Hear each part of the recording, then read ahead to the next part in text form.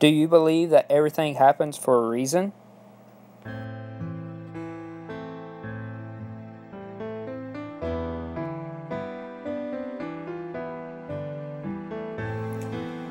Do you believe that miracles can happen?